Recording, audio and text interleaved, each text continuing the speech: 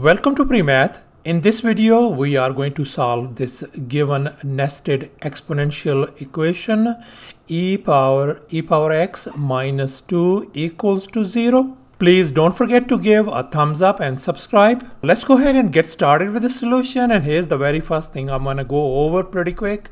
This e value.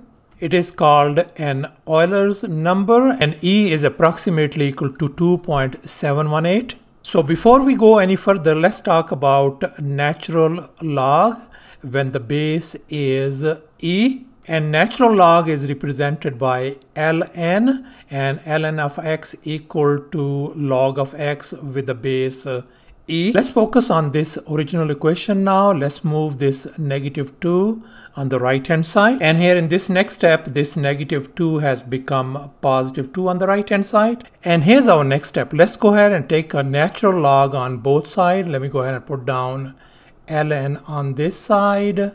And let's put down ln on this side as well, and now let's recall this power rule. According to this rule, this exponent e power x, I can move it all the way to the front.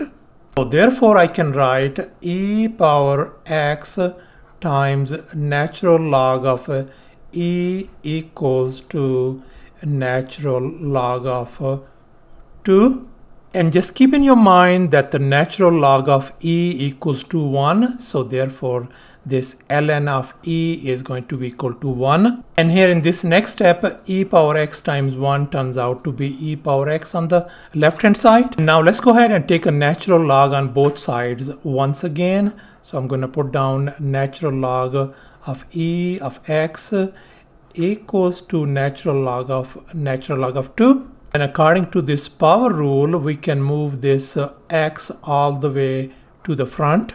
So therefore, this could be written as x times uh, natural log of e equals to natural log of uh, natural log of uh, 2 on the right hand side. And once again, natural log of e equals to 1 according to this fact.